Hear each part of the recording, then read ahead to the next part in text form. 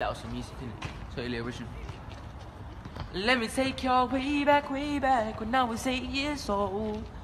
I was playing in my front yard, front yard. I ran through the back door. And that's when I saw my mama crying. I said, I asked what's wrong. I said, I asked my mama what's wrong. I said, I asked my mama what's wrong. She said, baby, if you ever listen, this is a perfect time soon.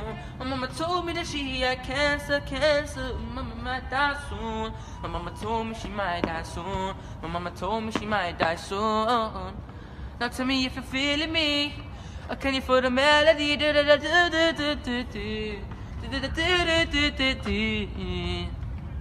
Thank you for watching, yeah.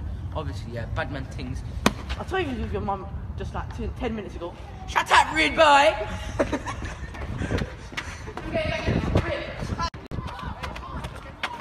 Yes, Red Boy! Well, a much tomorrow. I don't empty out your pockets, fam. This is a robbery. Hello, little munchkin. I don't touch my hood like that again, fam. sorry, sorry. Are you collecting for charity? Nah, G, this is a robbery. Empty out your pockets, fam. What charity? Uh, what you got, bro? This, this is a stick up. This is a stick up. You're stealing my stuff. I big.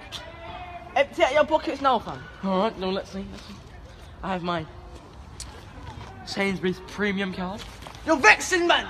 Wait, wait, wait, wait, No! wait. Wait, no, You're tell me, vexing, man. Don't tell me, You're vexing, Wait. Driller, wait, Driller. So, Cheryl at WH Smith, yes? No, at Sainsbury's, sorry, Sainsbury's.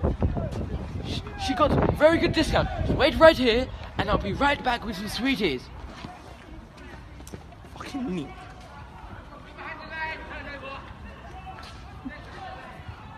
Uh, what you got then? So, obviously,